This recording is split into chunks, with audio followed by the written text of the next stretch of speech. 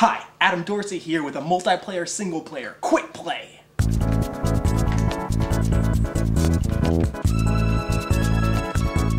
Recently, Criterion Games updated their hit racer Burnout Paradise with the oft-requested restart feature. For those of you who want to break the illusion of a beautiful open world city, you can now press the D-pad at any time and restart the last event. Now, when you fail a race, instead of doing the smart thing and just moving on to another race, you can restart that race over and over again, making the game more and more frustrating. Anyway, this is Adam Dorsey, and this has been a multiplayer single. Hi, this is Adam Dorsey here with a multiplayer single player quick play. Again.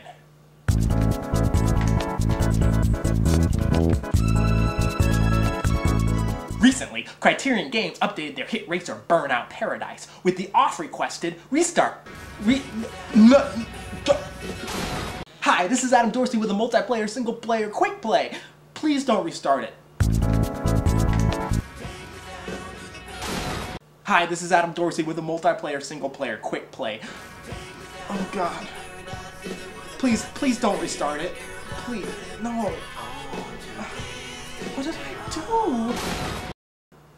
Hi, this is Adam Dorsey with a multiplayer single player quick play. Just, just don't restart it again. Just rewind it, or or turn it off and do something else. Hi, this is Adam Dorsey with a multiplayer single player. Something. Just don't restart it again. No, just, no. Oh my god, this is Adam Dorsey with a multiplayer single player quick play. I'm so scared.